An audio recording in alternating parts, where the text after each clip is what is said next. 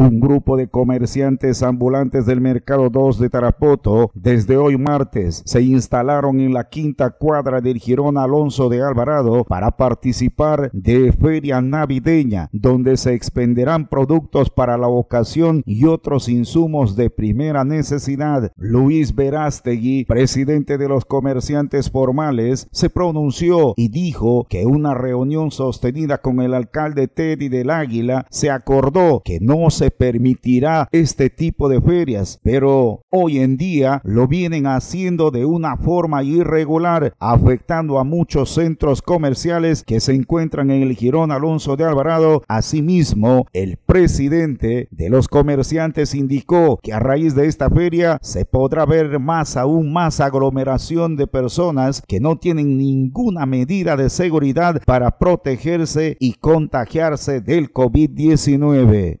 Eh, se tuvo una reunión en sesión de consejo con el señor alcalde, donde la Asociación de Comerciantes del Mercado número 2 solicitó justamente para que no haya este tipo de conflicto con los compañeros trabajadores o los, mejor dicho, los ambulantes, de que puedan ocupar lo que siempre ha pasado, ¿no? Es, es invadir, invadir o, ha sido autorizado por la municipalidad eh, y causar este tipo de malestar. Eh, no tú mismo, las imágenes van a hablar de que no es dado bueno para nosotros, ¿por qué? Porque hay gente que necesita trabajar, que está en la parte externa, necesita vender también, y yo creo que es una mala organización y una mala ubicación, mejor dicho.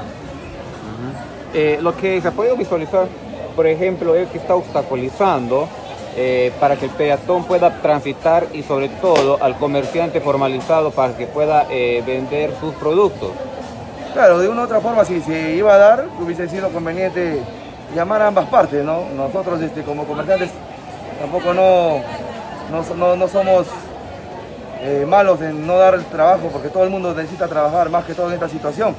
Pero lo que hubiese sido más formal era ponerlo frente a frente, ¿no?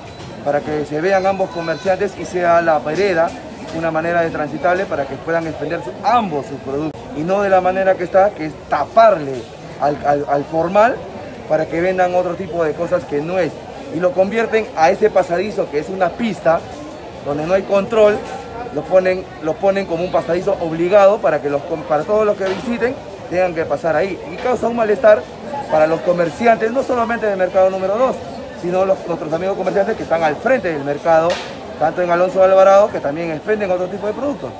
Ajá. Eh, lo que recién está iniciando, ¿se va dar más complicaciones transcurso de los días, teniendo en cuenta de que se va a dar el tema de aglomeraciones de personas y Dios no quiera, no, no, no pueda darse algún tipo de hecho lamentable. No, de todas maneras, este, se va a dar. Si ustedes, ustedes ven las imágenes en la página de la municipalidad, en la, en, la inauguración, en ese mini teatro que está en el bulevar, se ve mucha gente aglomerada. Nadie les reclama nada. Es igual como acá, tenemos entradas todas libres, eh, tenemos espacios, Afuera también se va a ver por el mismo hecho de que eh, para el Estado solamente se trabaja de lunes a viernes y el día sábado y domingo, que este feriado es largo, vamos a tener presencia de ningún tipo de autoridad para el control, para el control de aglomeración de personas, ¿no? Y eso también no te olvides de que no va a haber basurero, no va a haber esto, pasaba acumulación de basura.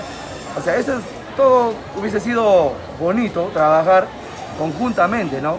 Con nuestros compañeros que están afuera como, también como comerciantes que estamos adentro, para poder este, todos poder vender, ¿no? Todos necesitamos ahorita de economía, ¿no?